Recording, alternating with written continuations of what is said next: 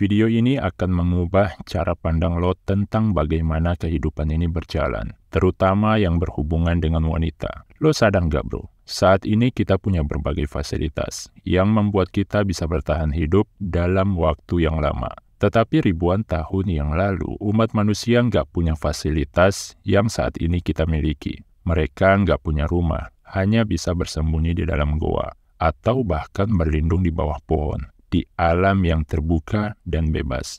Manusia zaman dulu hanya punya satu hukum pasti. Siapa yang kuat, dialah yang bisa bertahan hidup. Pria yang badannya terlalu gemuk dan gak bisa berlari cepat, kemungkinan besar bakal mati di hutan karena diterkam hewan buas. Ini sangat jauh berbeda dengan zaman sekarang, di mana dengan fasilitas-fasilitas yang kita miliki, manusia paling lemah sekalipun bisa bertahan hidup dengan mudah. Tapi ada satu persamaan dari karakter manusia zaman dulu dengan kita yang ada di zaman sekarang, yaitu insting mencari pasangan berdasarkan kebutuhan. Sederhananya, baik pria maupun wanita memiliki insting mencari pasangan yang bisa menjamin kelangsungan hidup mereka. Inilah yang melahirkan rasa ketertarikan. Faktanya, ketertarikan itu muncul dari alam bawah sadar manusia Ketertarikan adalah dorongan yang gak bisa kita kendalikan. Sama seperti ketika lo merasa lapar atau haus. Nah, inilah yang membuat segalanya menjadi menarik. Karena ketertarikan adalah dorongan yang gak bisa dikendalikan, maka sangat mudah untuk memicu agar ketertarikan itu muncul. Misalnya, lo bisa tiba-tiba merasa lapar hanya karena mencium aroma sebuah makanan. Bayangkan bro, tanpa melihat wujud makanannya, tapi hanya dengan aromanya, rasa lapar lo bisa muncul. Begitu juga ketertarikan terhadap lawan jenis bisa dipicu dengan mudah, asalkan lo tahu rahasianya, yaitu fakta bahwa pria tertarik pada penampilan, sedangkan wanita tertarik pada perilaku. Artinya untuk memicu ketertarikan cewek, lo hanya perlu mengubah perilaku dengan cara yang sederhana. Ketika lo mengabaikan fakta ini, lo bakal kalah bro. Adapun perilaku cowok yang bisa memicu ketertarikan cewek dengan kuat adalah kepercayaan diri.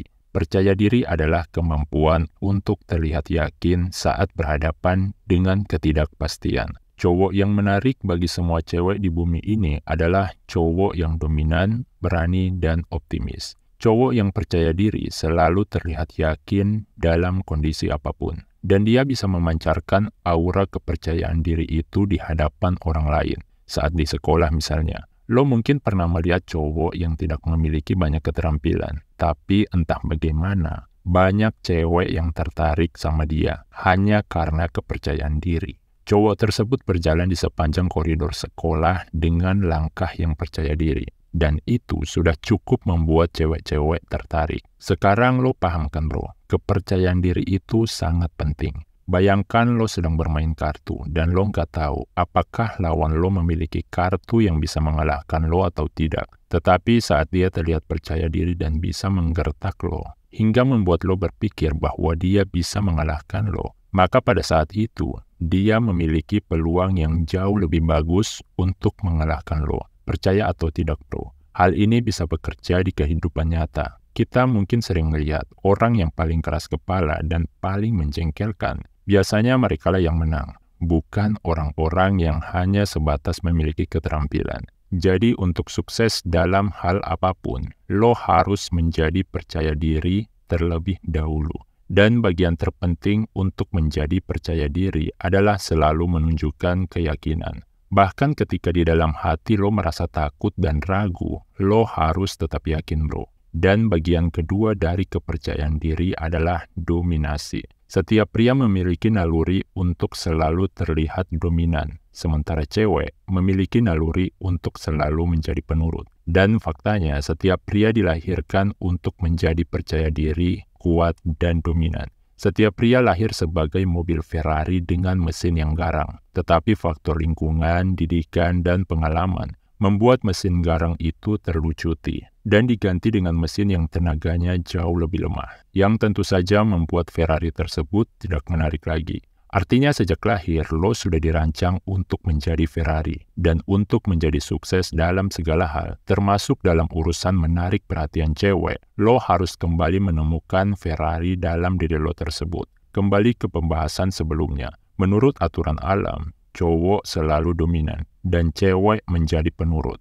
Cewek secara nggak sadar selalu tertarik pada cowok yang dominan, dan cowok selalu tertarik pada cewek yang penurut. Dalam kehidupan sehari-hari, cowok dan cewek selalu bertindak berdasarkan naluri tersebut. Lo sadar nggak bro, mengapa cewek selalu meletakkan kameranya di atas ketika mengambil foto selfie? Karena mereka ingin terlihat tunduk dalam gambar. Mereka ingin menunjukkan sisi lemah dan penurut dalam foto tersebut. Para cewek paham, hal itulah yang bisa menarik perhatian cowok. Semakin mereka terlihat lemah dan penurut, semakin mereka terlihat menarik di mata cowok. Nah, kalau di sisi cowok, bagaimana bro? Lo bisa bertanya ke cowok-cowok yang lo anggap ahli dalam urusan percintaan. Tanyakan kepada mereka, apa rahasia menaklukkan wanita? Mungkin lo akan mendapat jawaban yang berbeda-beda. Ada yang menjawab, untuk mendapatkan wanita, lo harus punya banyak uang. Ada yang menjawab, lo harus punya badan six-pack, atau lo harus punya sikap humoris. Semua jawaban itu benar bro, karena sebagai cowok, lo mendapatkan kepercayaan diri dengan meningkatkan apa yang menjadi kekurangan lo. Saat ini lo mungkin punya kekurangan dalam hal keuangan, sementara pria lain memiliki kekurangan dalam berat badan. Beberapa cowok memiliki satu kekurangan, tetapi karena kekurangan itu, mereka merasa kurang dalam banyak hal, terutama dalam urusan mendapatkan wanita, alias mereka jadi nggak percaya diri. Ketika cowok berhasil memperbaiki kekurangannya, kepercayaan dirinya akan meningkat tajam. Dengan kepercayaan diri itulah, dia bisa mendapatkan kesuksesan dalam segala hal, termasuk dalam mendapatkan wanita.